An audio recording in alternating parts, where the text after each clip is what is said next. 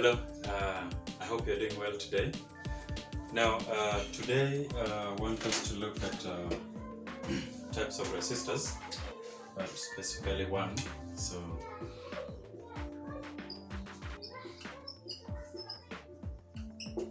types of electrical resistors. A resistor is a device that is designed to offer specific resistance to current flow. We have different types of resistors. Uh, number one, we have fixed resistor. Number two, we have variable resistor. We have special types of resistor, such as number three, thermistor. You can click the link above there to watch uh, how thermistor affects the current flow. Number four, we have a diode. A diode. Then number five, we have LDR, that is light dependent resistance. Let's start with uh, this one here, variable resistor.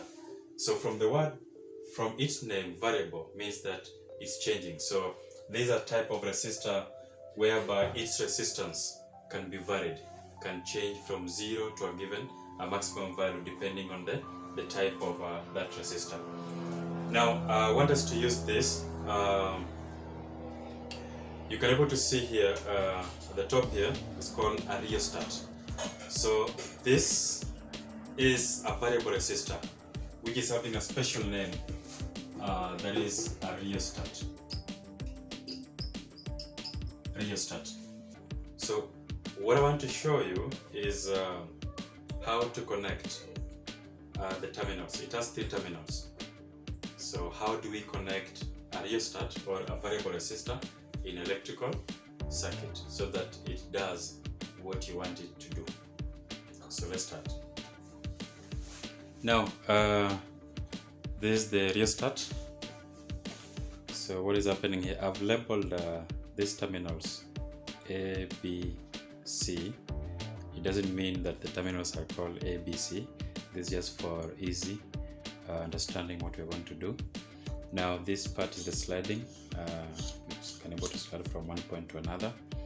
So we have the terminal. So what we're going to do is to test, uh, trying to record the current and also observe the, the, the brightness of the bulb. But we're going to focus mainly on the on the ammeter uh, as we connect. So we're going to connect the the terminals here to help us understand when we want a rheostat, when we want to use a rheostat, uh, what do we do? What do we need to do, and how do we connect so that uh, we get the value? So uh, this rheostat here, the maximum, uh, that is the maximum resistance is 200, and then you can allow the current up to 0.8 amps to flow through it.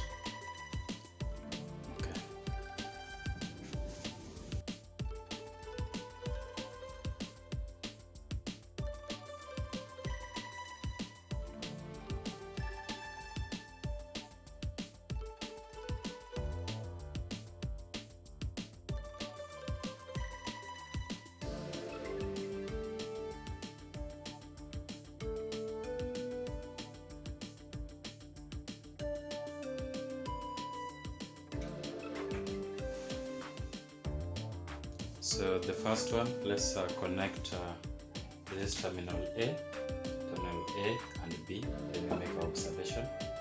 So connect that.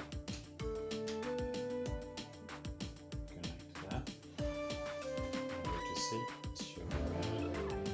reading of 0.01. So when we connect A and B,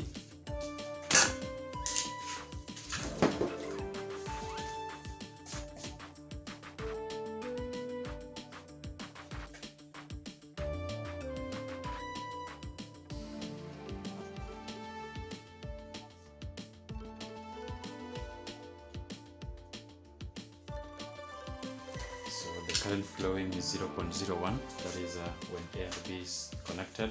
What if we slide? So we slide from here as we change.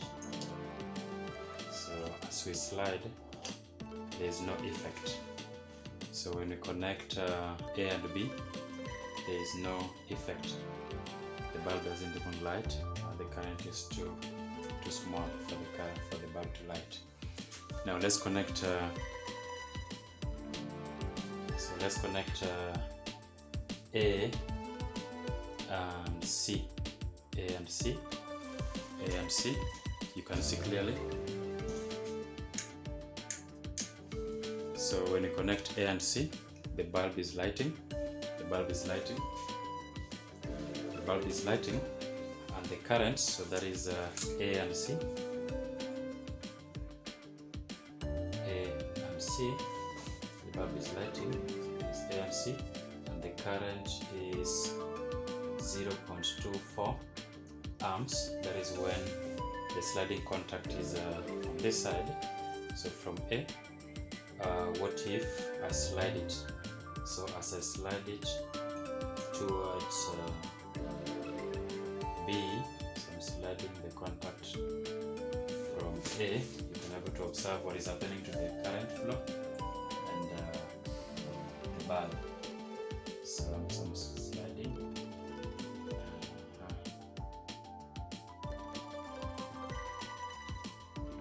so the current is uh, about 0. Point, uh, 0.18 then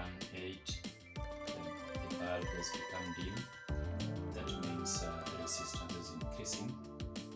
So as we increase as we slide from A towards B you can able to see the current is decreasing until now the other side uh, that is the minimum current now you can see so initially at this particular point the resistance is uh, zero.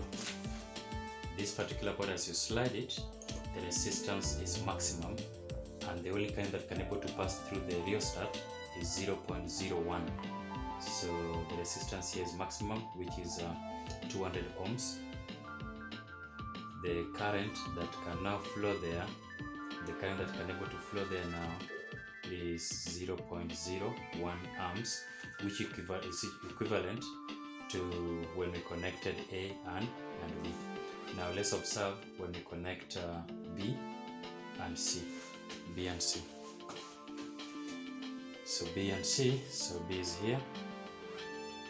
Uh, maybe we can start from here.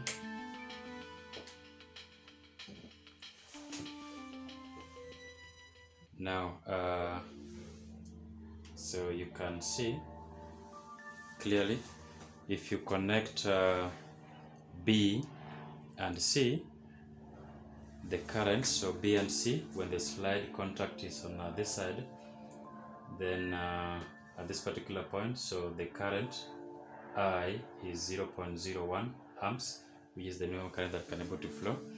As you slide the contact towards uh, this you can able to see the current is uh, trying to increase the current is increasing and now there is current that is flowing so you can see if you connect uh, B and C then this side here become so the, the, the resistance is minimum here while maximum this side here.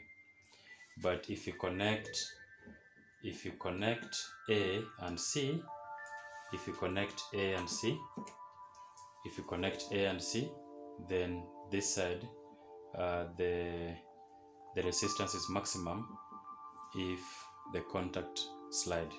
Is on the other side. So I hope you now understand